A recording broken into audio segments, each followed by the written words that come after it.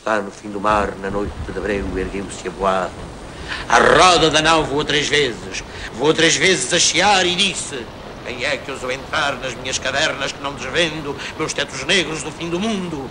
E o homem do leme disse tremendo: O rei Dom João II, de quem são as velas onde me roço, de quem as quilhas que vejo e osso.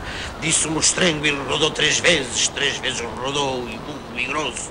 Quem vem poder o que só eu posso, que mora onde nunca ninguém me visse, escorro os medos do mar sem fundo.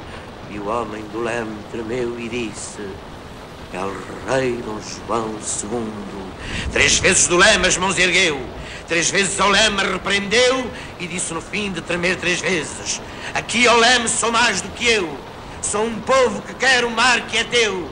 E mais que mostrengo que me alma teme e roda nas trevas do fim do mundo, manda a vontade que me ata ao leme del rei Dom João II.